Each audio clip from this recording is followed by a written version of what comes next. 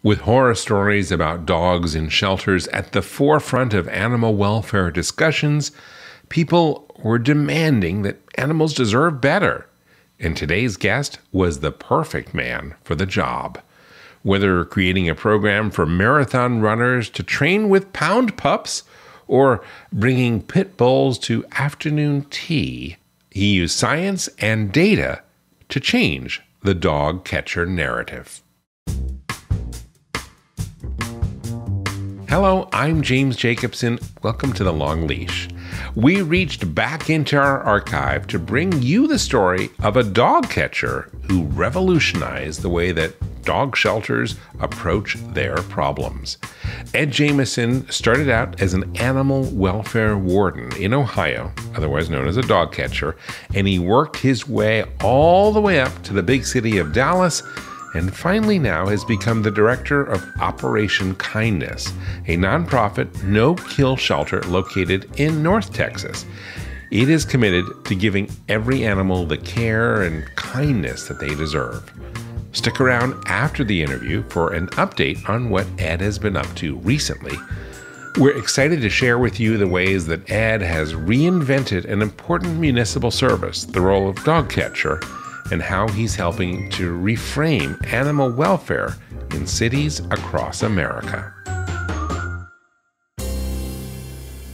Ed Jamison, thank you so much for being with us today. Oh, absolutely. Thank you for having me.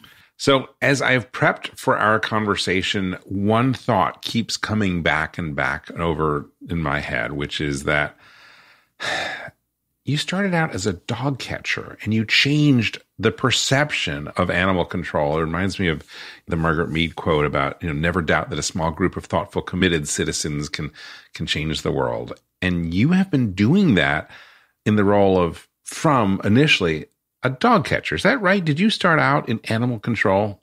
Uh, yeah, and that's what the you know the industry you know many years ago wanted to be thought as as the as the dog catcher. Um, and the industry itself has been working really hard that even, you know, true animal control agencies are doing way more than just catching dogs at this point. This industry's made a mistake at not looking at the human side of all of this. So even just saying the dog, the animal, there's humans behind all of these too, which is something that I'm sure we're going to talk about that makes this job that much more exciting. Well, let's set the stage. In the early 2000s, you were in Cleveland, Ohio or a suburb of Cleveland, right? Where you got yep. your Garfield Heights. Garfield Heights, yep. And was this your first job, or like out of school? Was this? How did you get into this? So I was I was a young father. I was in landscaping before, and then I said, hey, you know what? I need to go get a job with the city for the insurance and the stability and and all of that. So I, I was young into the workforce, but it wasn't my first job, but was certainly yeah. This is where I thought I would be the rest of my rest of my life, get in the government world with retirement and. Well, speaking of government world, I mean, your title is animal warden. Mm-hmm. Probably not a term you think fondly of today, but what was animal warden? And, and it and, really was. It was trying to, you know, the thought was just just handle animal problems, yeah. and whether that was wildlife, whether it was cats, dogs, whatever, a bat in the attic, whatever, it was just handle animal problems. I was lucky that the mayor, when I when I became the warden there, understood that I'm helping people with their problems as well. And so that really kind of ignited the fact that it's a lot more than just catching an animal. You want to fix problems. So as an example, there was wildlife was a part of it. And so be setting a bunch of traps, be it for raccoons or skunks or whatever. And I'm always like, they're living under this porch or in this chimney will you let me work with the people to fix the problem? Because if you don't plug the chimney, just a new family of raccoons is going to eventually move in there. And that really kind of, for me at least, showed that there, there's a lot better way to do this than just how we've done it for a bunch of decades before. So you were sort of thinking outside the box, but when you came up with this revolutionary, you know, mindset in terms of say the raccoons, how was that received? Um, the first thing any government's going to say is, is it going to cost me money or is it going to save us money? And Garfield Heights is not a rich city at all. And so I had to show them that I can do this stuff. And by working with the residents, this will in the long term will certainly save money because we won't keep coming back to the same house over and over and over again. But we might have to help with the little upfront costs so that we don't have the continuing costs. So that took a little bit um, just from the, the government side that, hey, budgets are budgets, period. How did that conversation go with your boss at the time? Uh, it, it, was just they're like can't you just do it like we've done it before? Every day it seems like you're coming in with some new idea or some new new way to do it. And i'm like well we're trying trying to get better. And i was lucky they they let me think but it always came down to dollars and cents. Is mm-hmm. it going to cost overtime? Or you have to buy supplies? Or you're going to have to buy whatever? Um, and if i'm like i'm going to find a way to get it done. Will you just say it's okay for me to do it the residents, it took a little bit different. People get used to what they're used to. Just call a mm-hmm. warden, they'll just come catch the animal, and then that's it. And then we'll call them again when we need them again. Many people were receptive once you could explain what the long term fix was going to be. Mm. In the short term, people are like, I don't want to play my part in it, or I don't want to go buy a cap for the chimney, even if I was going to help them put it on. So it definitely took some explaining as to what the long term solution was going to be. And say, hey, as much as you like me or I like you, we don't need to see each other every other week over getting raccoons out of your chimney. Okay. So you moved from that very small suburb, Garfield Heights, to the city of Cleveland. And when you went over to be an animal control officer, which sounds similar vein to animal warden, what were you bringing to the job? Yeah, really just it was a, a much bigger scale. At Cleveland, I was the chief animal control officer, which ran the entire operation. So all the field activities as well as the sheltering. So in Garfield Heights, the volume was just so much lower, and you catch our, you know, whatever, handful of dogs a week, and then you work hard to find their owner, and if not, try to find them a home, and was successful. But the city of Cleveland shelter is the largest city run shelter in the state of Ohio. So it was definitely on a much bigger scale, and a lot of people that they're now my colleagues, but they're like, oh, we always liked you, Ed, but we were worried, could you handle how big this is? And everything is just about processes, putting together good programs. I'm huge on data. I never claim to be the smartest guy in the world, but I can read a chart. So if you can record it and give me the numbers, I can then figure out is this something that's working or not working. But um, that was really the the first glimpse into the real that you've got to have some good process in here because I was I don't know 4,000 4,500 dogs um, a year in a one of the most notoriously bad physical shelters in the country. It was a big dungeon and mostly blockheaded pit bull type dogs is, is what you had. And we got creative and that's when we created city dogs. And, you know, I'm, I'm big on you can cry about what you have or you can make a plan for what you have. And so we really flipped the script to change that perception of pit bulls by creating a program that was like, we got awesome pit bulls here. Come on down and adopt one. Well, let's talk about city dogs. So this was the, I guess, a trademarked system that you created. What is it? Oh, it's amazing. It's some some of the things I have, uh, you know, all over my office. Really proud of that time. That when you're going into a place that's got a notorious history, even though there's good people and all that, a lot of things stacked against you, you got to give them something to associate good with it. Mm-hmm. And I spent the first couple weeks in Cleveland thinking, how am I going to show people I have other than pit bulls for them to adopt? And after a couple of weeks, I was like, that's what I have. I get all the non bullies out really easy. I don't have to use a lot of resources to get them out. And then I have a kennel full of really good blockheads. Mm-hmm. And so, um, a woman named Timmy Sullivan, she used to be on the best friends board, but she lives in Northeast Ohio. Just one who never judged, was always good for me to sit down and kind of just spit out all kinds of ideas. Sat down with me, and then we're like, why don't we flip it and embrace how many we have as opposed to acting like you know, we have an occasional Chihuahua or an occasional lab.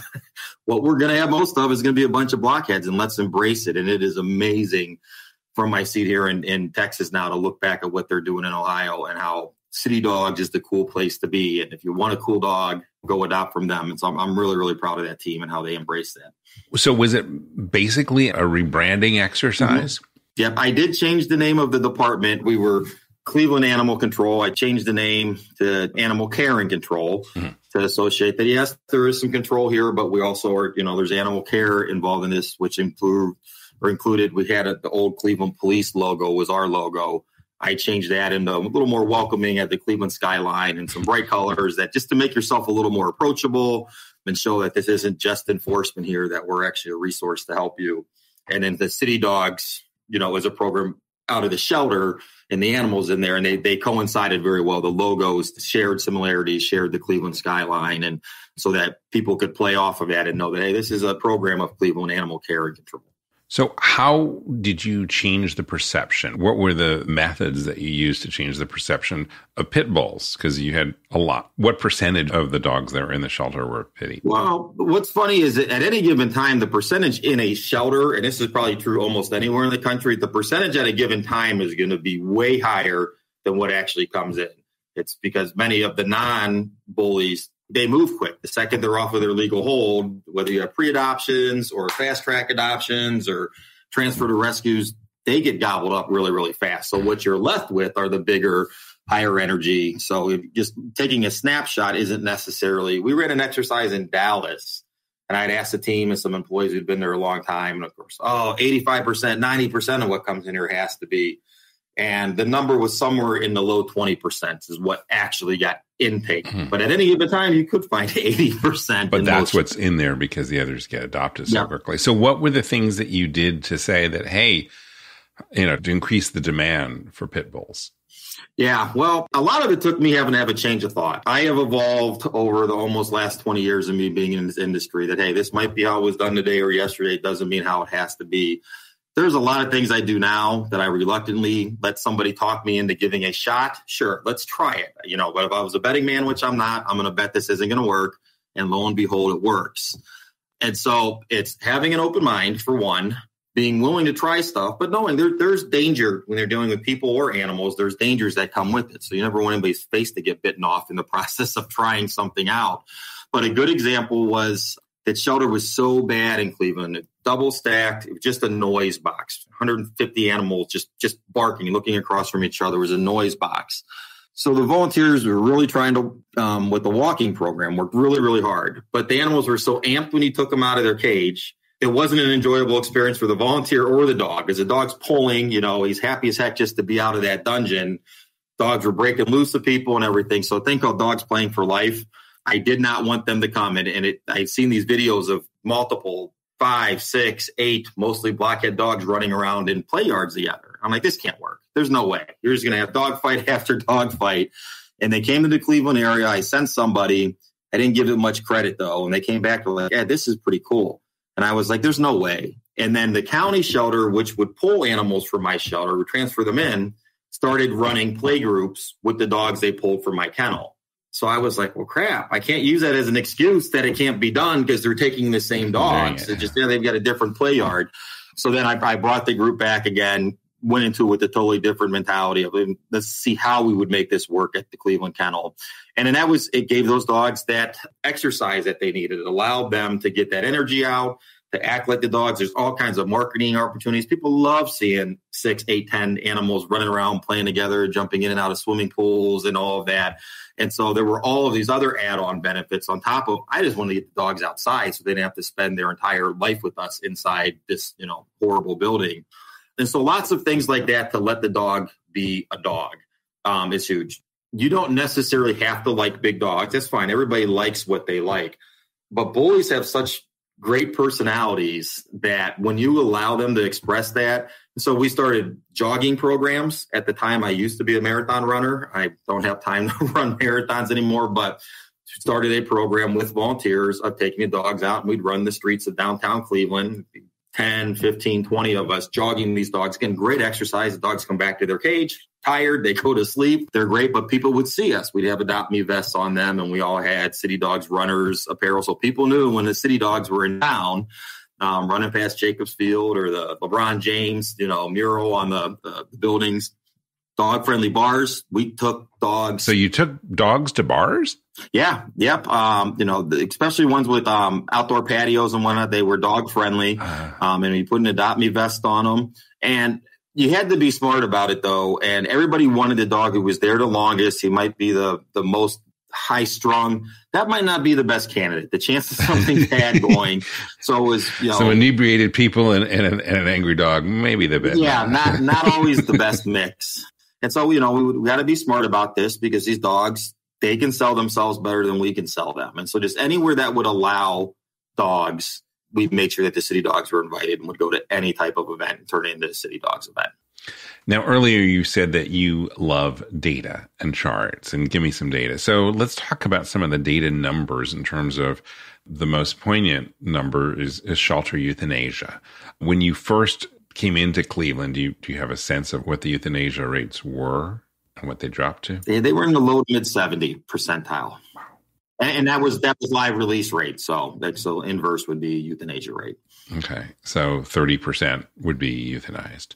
Correct. And then when you left?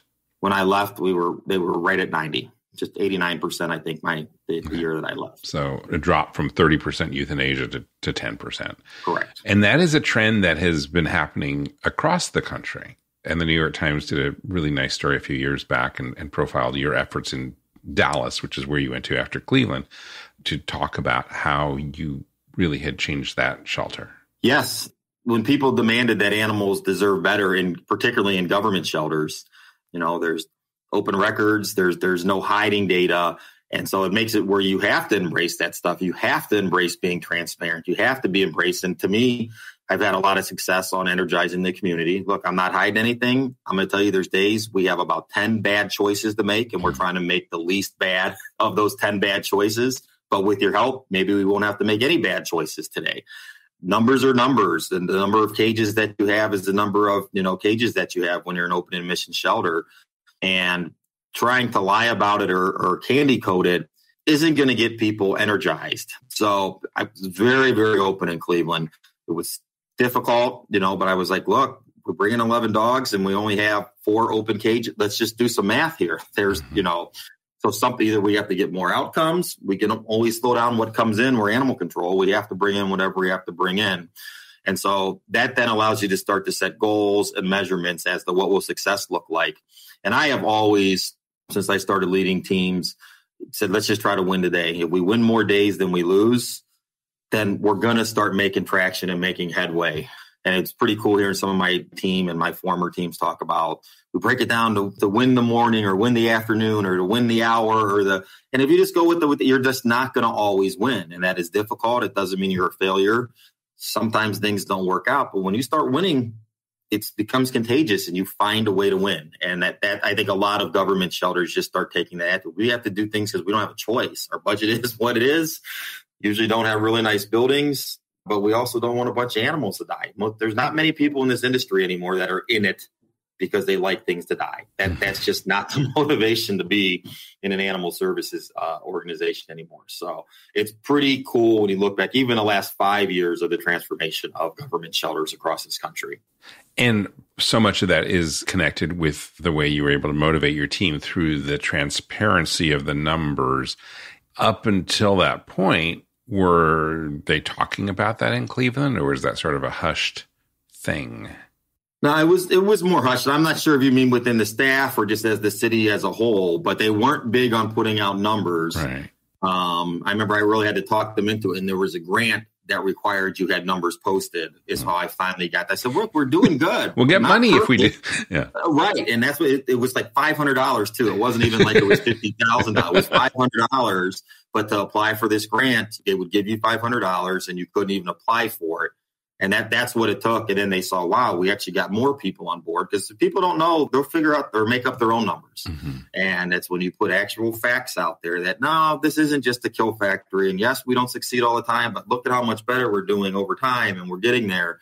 I've always had success on getting people on board who are like, yep, I want to take it from 86% to 90%. Or now we're at 90. What are we going to do to try to get to 91 or 92? And let's let's pause right here. We're going to take a short break and we will be right back. And now, a message from your dog. Every day with you is like a day at the beach, and I want as many beach days as possible. I want to run and sniff and find a good stick to carry. I want to walk with you, run with you, sleep with you, eat with you. And when I eat with you, I want Everpup. It infuses any food you give me with health and life and vibrancy. I can feel it. It's a strange thing to do, sprinkle this powder on my food, but I wouldn't have it any other way. My time with you is precious and irreplaceable, and I'm thrilled to be with you for as long as possible. Here's to puppy playtime and senior snoozes. no matter how old I get, I want my Everpup. it just makes me feel good in this life and the next and the next and the next. I am so grateful to be your dog and for the Everpup you give me. So now that you know what your dog wants, get Everpup, the ultimate dog supplement. Everpup is available in select pet shops and on Amazon. But to get the best price possible, join the Everpup Club at everpupclub.com, where you'll get your first jar for just $8 with free shipping anywhere in the US. Go to everpupclub.com and use the discount code DPN. That is everpupclub.com. Everpup every day.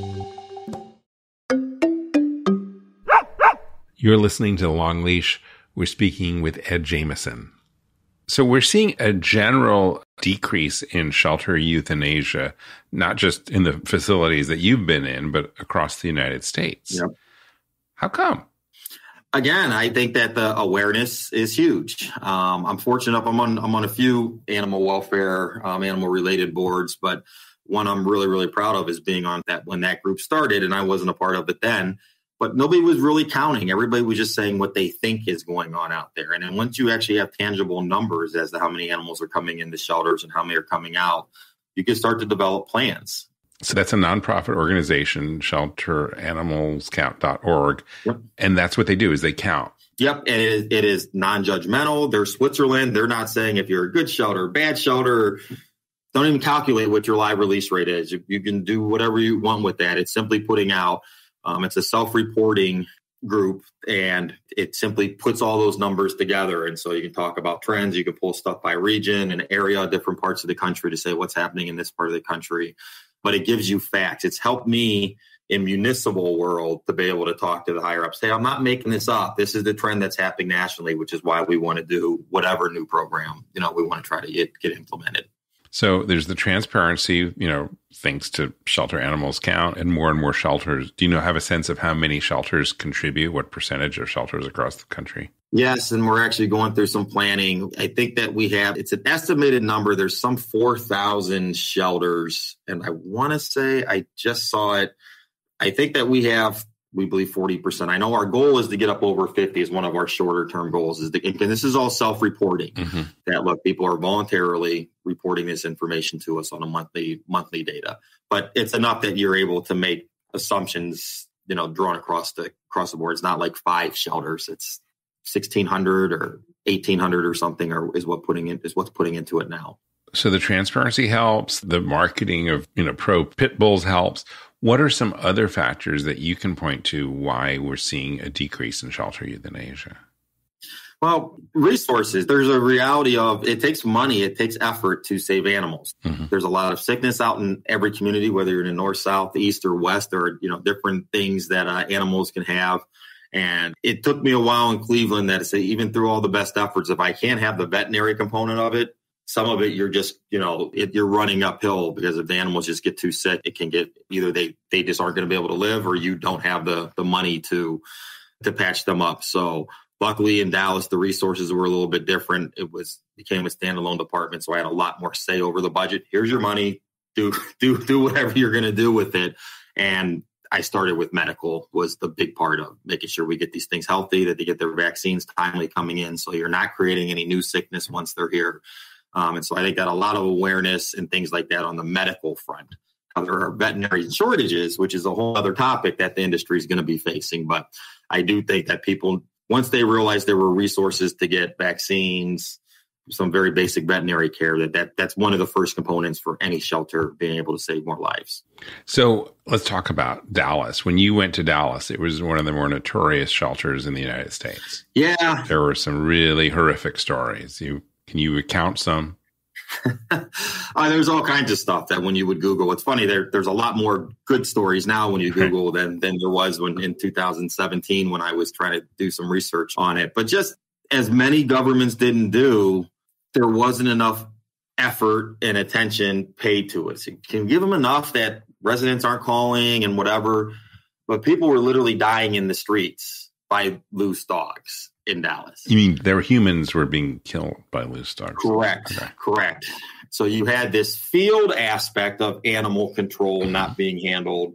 Meanwhile, there was this demand to do better for the animals that do come in this shelter and to rapidly increase the live release rate. So I'm the dummy who raised my hand when they said, we want you to increase the pickup of loose animals in the field and we want you to increase shelter live release rate at the same time. They they usually go opposite. All right, you slow down intake and then your live release rate goes up. and I, I need to be resourced properly. And I saw that they were taking it serious. So I was one of the um, either really smart or not really smart people that threw my name in the hat for for that job. And I, I am really, really glad. I think it would have been the four year anniversary just came a couple days ago on the 17th of when I started in at DAS. And I'm really, really proud of the work that that team and that community did. We'll talk about some of the work that you and your team did in Dallas before you moved to your current position. We'll, we'll talk about that.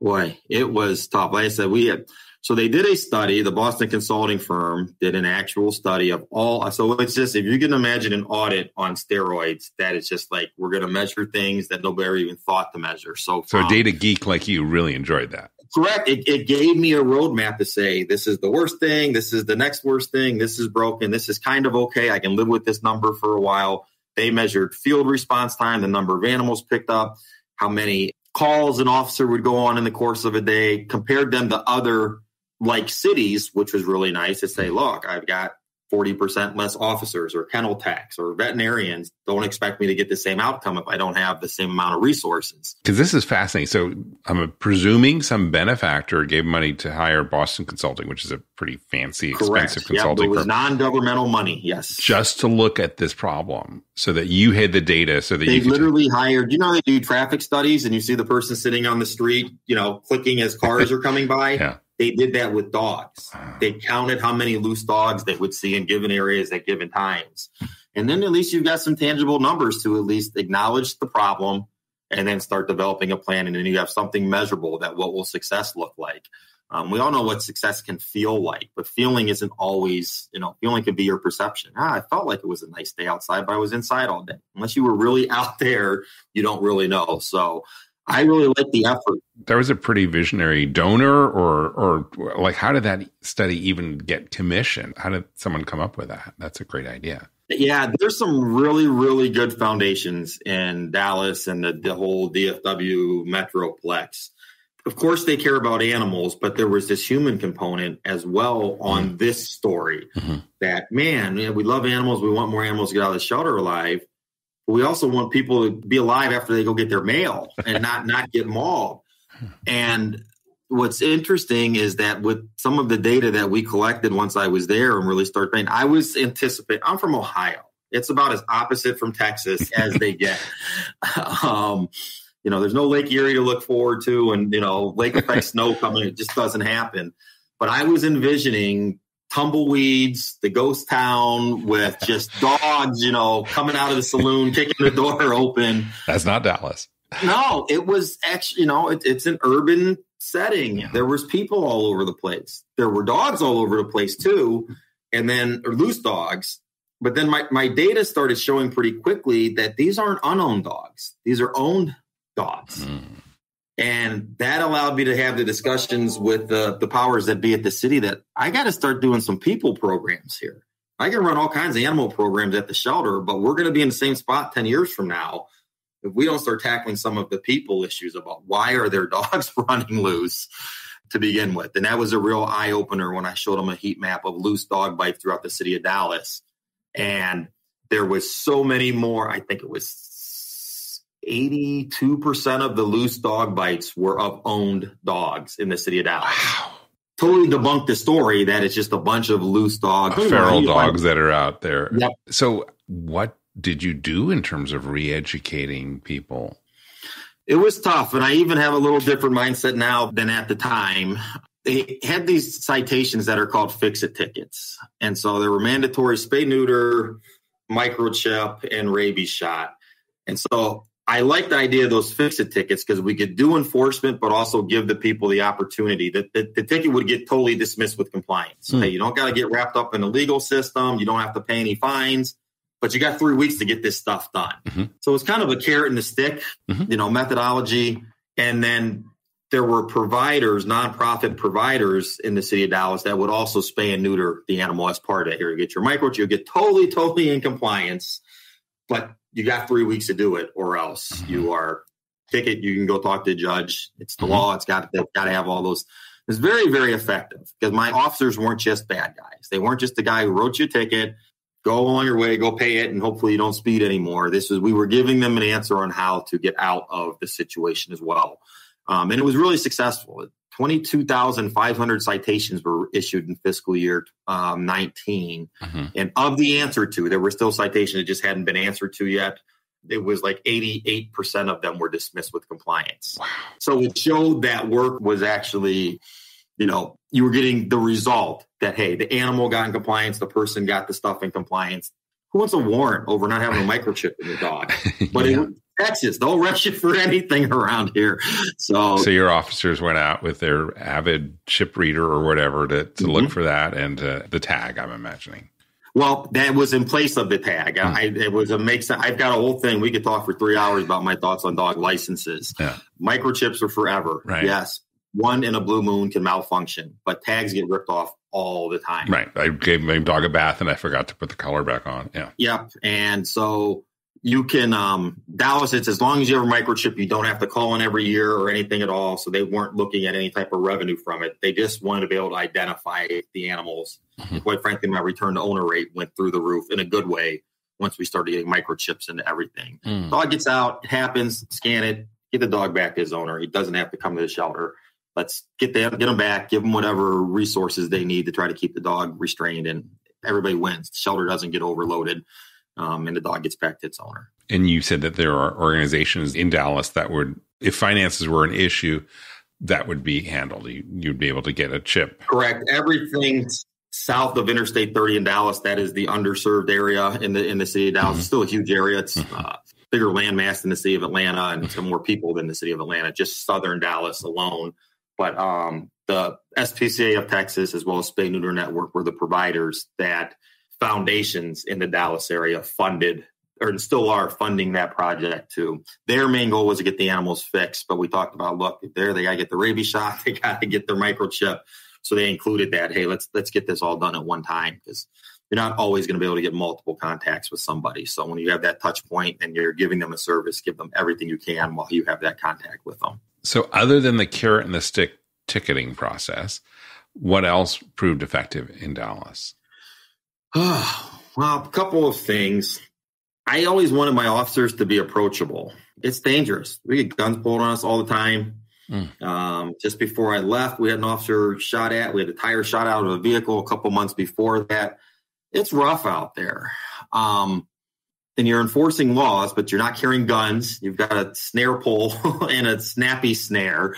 Um, you know, so put you, down you that gun. I have I have this snappy. Yeah. Wow. Um, yeah. So it's a very very difficult position for them to be in. But little simple things. I love going out in the field with my officers. Loved it. Loved it. Loved it. And they're always like, they're like, director, why the hell are you always waving at people? and I would always just wave at people like you're in a small town. And it's amazing the areas I would stay in more often from at the beginning, people were like, who is this dude waving at me? To eventually they're like, hey, and you're making yourself a part of the community. Mm. And then eventually they're like, hey, are you looking for that brown dog? I saw him down the street. And it's amazing once they trust you and you're not just the enforcer coming in once called. So we did a lot of proactive calls. So sort of like community policing. Correct. Yep, and let them know that we're there. And I, and I will say that one of the things that BCG said, our response time was so horrible, and so many calls just never even responded to at all. Like if they call us, we got to go, guys and gals. We they're not going to trust us if we say call us and then we don't come.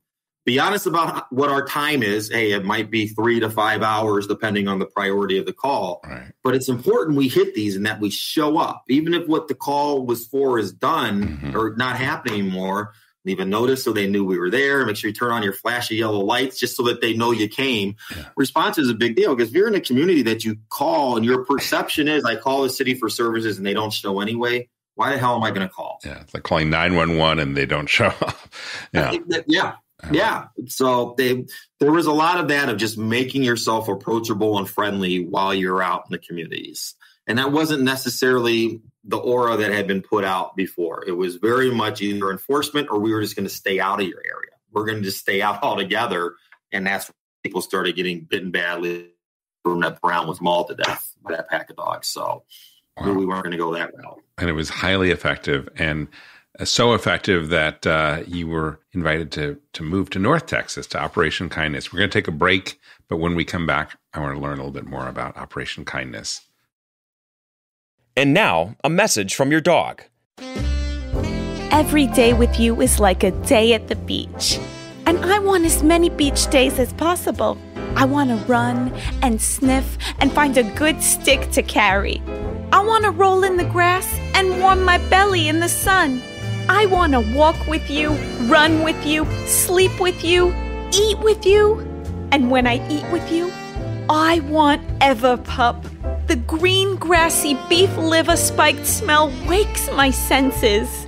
You may not realize this, but it tastes like homemade gravy, especially when you wet it. It infuses any food you give me with health and life and vibrancy. I can feel it. Everpup traveling to every cell in my body, nourishing each one.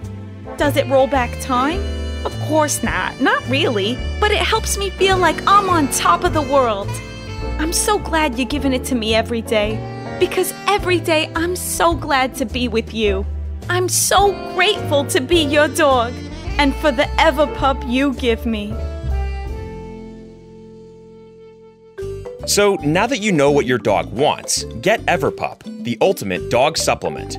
Everpup is available in select pet shops and on Amazon. But to get the best price possible, join the Everpup Club at everpupclub.com, where you'll get your first jar for just $8 with free shipping anywhere in the US.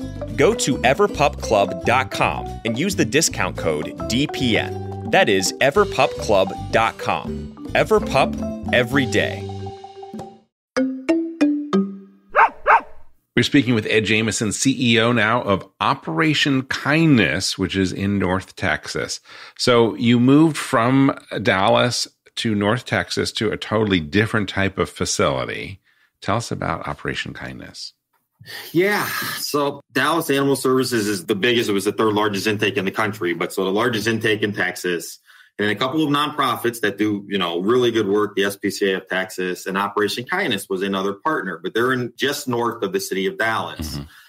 Got along terrifically with their CEO. I'd met him at a best friends conference, and he was really working on the partnership. But hey, how how can we help you more? And allowed me to meet his team. And they were undergoing a um, big construction project, and he was like, "Yeah, I'm I'm really just kind of you know filling in until construction's done." Didn't think much of it. His name was Bob, is Bob, great guy. And he calls me one day in February, I think it was late in February, and just said, Yep, construction is almost done. I'm going to stick to my word and I'm retiring. It's like, oh man. And I, I wouldn't even think anything of it. I thought he, you know, I'm like, here, I'll tell you if I can think of anybody. And he asked me a couple questions and um, called him the next day. I was like, Bob, were you were you thinking about me when you were asking about if there's people you might? And he was like, I was kind of hoping you'd get there, but I didn't want to play friend. He's a lot smarter than he looks. He, he, he got me pretty good. But he's like, here, you just should meet my board anyway. You should know my board president, vice president. Even when I'm gone, you should have a relationship with them. And it was very quickly, they wanted to, with this $13 million investment of this beautiful, beautiful facility here in Carrollton, Texas, they wanted to have more impact and they, they wanted me to come to help lead the team here. So the hardest thing was having to leave Team DAS. We had been through so much. We had, you know, brought in wonderful people from all around the country to work there and, you know, help people that were already there grow. And it's a great, great team. But I wanted to give the nonprofit side a try I've always done a good job of making government bureaucracy as nimble as it can be. I mean, Dallas is huge. Mm-hmm. Um, so a lot of red tape and a lot of stuff. I'm like, man, from the nonprofit side, even though it's smaller in numbers, we're never going to bring in 40,000 dogs and cats in a year here like we did at DAS.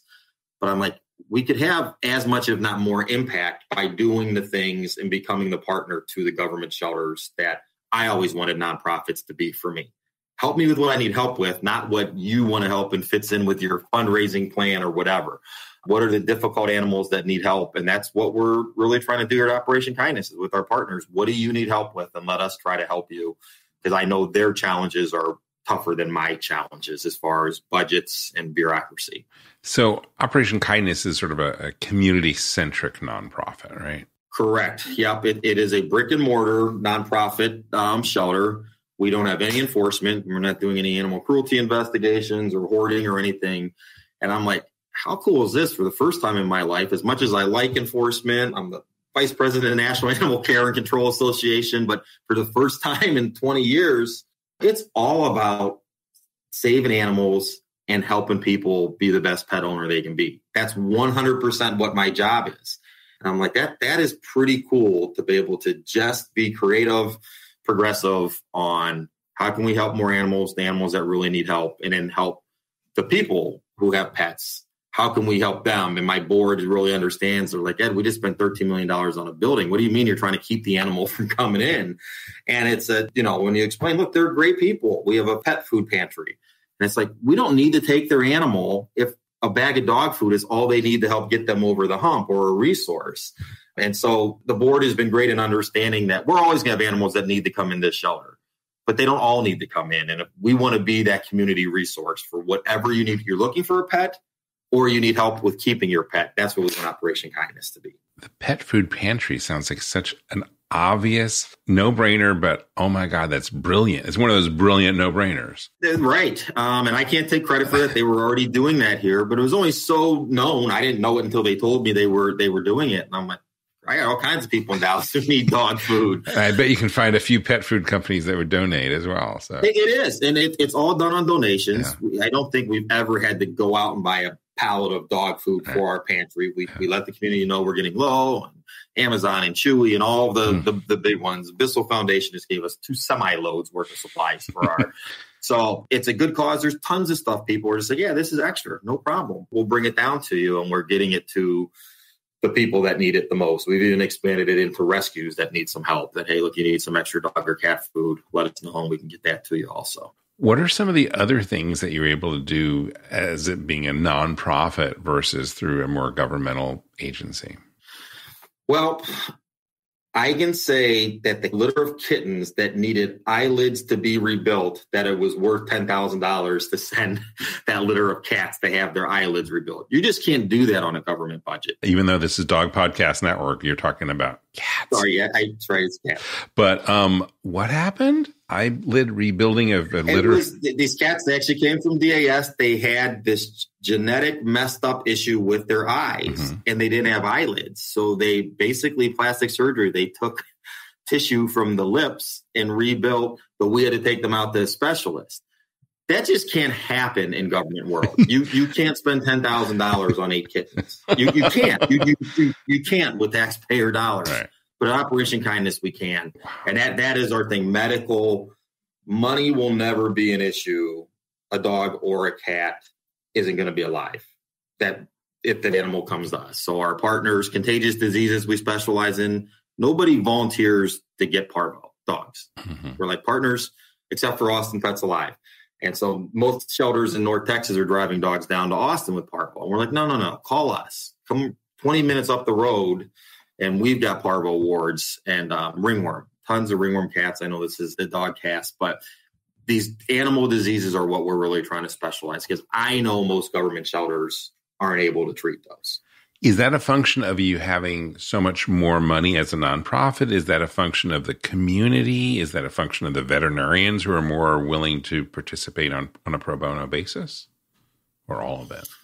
A little bit of everything. So when you're dealing with taxpayer dollars, it, it's amazing. You save an animal's life, and you'd be amazed at sometimes the hate I would get in government world about how I wasted money. Hmm. Started a heartworm dog program in um at Dallas, and a bunch of hate mail that it's a waste of money. Um, our mission is to save every savable animal. I mean, that's completely paraphrased, but that is what we do here. Is mm-hmm. if it's savable, then we're going to do everything that can be done to save it. So that just falls into it. That money's not going to be the issue for an animal getting out alive. That if if it can be treated, some things just can't be treated. And you have to make a tough decision. But if it needs a procedure, either we're going to do the procedure ourselves, or we'll send it to a specialist to get the procedure done. Well, speaking of specialists, you don't just focus on the medical; you sometimes focus on the behavioral. Correct, and we've really upped um, upped our game on that. I'll be honest, and the people here will tell you that some of the past history there was a lot of let's just try to get as many cute fluffies as we can and small dogs there's not many of those in the government shelters anymore. There's really not. And that's not what they need help with. Everybody knows somebody or 10 people that have a little bitey chihuahua or a little yippy dog. They're not going to cause any damage. Everybody loves a dog. It lives at whatever. But when a 60 pound dog is nippy, may not be mean, but he's yippy, mm-hmm. that, that's a problem. He, you know, they've got the ability to, to cause some damage. So I hope that we get ourselves to the point that we're actively going out to bring in known behavior But we have animal dogs that when they were sick, they were fine. Then we made them not sick and they started acting like a little Cujo. so we have a really good behavior team that we are boosting up. Um, believe it or not, donors really love to support behavior. Mm-hmm. I think most people can rectify a medical euthanasia that this animal needed to be put down because he was suffering that way, where it's a lot harder to rectify a behavioral euthanasia. Mm. So we want to do everything to say that, look, we've tried everything behavior wise so that hopefully we don't have to get to euthanasia decision or a true public safety decision. And we've got a really, really good, um, Shania Johnson is my behaviorist and her team. They're amazing. And we do a lot of aftercare once an animal is adopted here. Just as problems come, you don't know. You know what you know when the animal's in the shelter. He might have got adopted after a day. We didn't know he chewed the couch or pees on the carpet. We, we just didn't know he wasn't with us long enough and so we give a lot of aftercare on behavior so that hopefully the animal doesn't have to get returned. That can give people the resources to, to work through situations. Wow. Well, focusing on an animal's behaviors certainly feels like a long way away from you being animal warden in a suburb of Cleveland and dealing with that. The evolution or the change in perception about animal control is continuing. Where do you see it going? If you had to pull out your crystal ball in five years, where do you see it being? It's it's a really interesting time. Obviously, the last couple years have been really really difficult on this country. Forget about politics or anything like that, but there there's just been a lot, and economically, and people affected by um, the pandemic. Um, as foreclosures start to happen more, the pets are going to pay a price for that, but all kinds of other stuff in a family is going to pay a price in that too. So I was lucky that I had a seat at the table on the human discussions when I was in Dallas, that I was able to sit with the homeless solution meetings and sit with the utility company meetings and sit with all these other human things. And I could say, remember, they got animals. Remember, they have pets. You didn't meet all the human needs if you didn't meet their pets' needs also. I think a lot more places started thinking about that when they were looking about getting through the pandemic and what do people need. Um, mm-hmm. A lot more discussions about don't forget their pets need something too here as we're trying to find an answer for the human. So I would like to think that that's going to, if the economy cannot tank, I think that animal control agencies got a little higher seat at the table to be a part of discussions in their municipality, city, county, wh- whatever they're in that. They're not just the dog catcher. There's human problems. Just like all of the talks with reform police and things like that of two summers ago, um, the same type of deal. Should should the animal control just be catching dogs, or should should they be helping to fix the hole in the fence so the dog never gets out to begin with. And remotely progressive governments say, of course, we want to find a way to patch the fence as opposed to writing them hundreds of dollars worth of tickets and impounding their dog and them getting a warrant and all of that. You know, logical politicians from both sides of the aisle will say, yeah, can you just fix the fence for them? Mm-hmm. so that's where I'm really hoping is that it gets into fixing those problems that the humans behind the animals have, fixing their issues as well are going to the animals benefit from those and remembering that there's a human behind almost all these animals. Ed Jamison, CEO of Operation Kindness, thank you so much for being with us today. Thank you, James, so much. I really enjoyed it. Now, as promised, we reached back out to Ed to see what he has been up to since our last chat. Ed and Operation Kindness have been busy throughout the pandemic with over 1,655 adoptions and over, get this, 41,000 pounds of pet food distributed. They've also opened a new 24 hour neonatal kitten nursery. And starting in July, they launched a new community initiatives program that offers affordable, accessible veterinary services and resources to underserved areas. They hope to impact an additional 8,000 pets in the community through this new program. And if you or someone you know is in Texas and you'd like to get dressed up all Texas swanky style to support a fantastic cause, well, get this. Their canines, cats, and Cabernet canines, cats, and Cabernet just rolls off the tongue. It's an auction and gala. It'll be coming up on November 12th, 2022, at the Sheraton Hotel Dallas. It is their largest fundraiser of the year and they hope to raise a cool $1 million. Finally, Operation Kindness has a robust enrichment program to keep dogs entertained while at the shelter. They do this through recycling household items that they turn into fun activities. and they take donations. If you'd like to donate to any of these programs, and you can find out more on their website at operationkindness.org, and we will have the link in today's show notes. Well, that is all we have time for today. I want to thank you for joining us on the long leash. And if you know of someone who would be a great guest for our show, please get in touch with us. You can do that via our website at longleashshow.com. And also, if you haven't already, please consider subscribing to The Long Leash. It is free, it's in your favorite podcast app, or you can catch us on YouTube. If you'd like to find out about the other shows that we do here at Dog Podcast Network, well, then please visit our website. You can find that at dogpodcastnetwork.com. I'm James Jacobson. From all of us here at Dog Podcast Network, I'd like to wish you and your dog a very warm Aloha.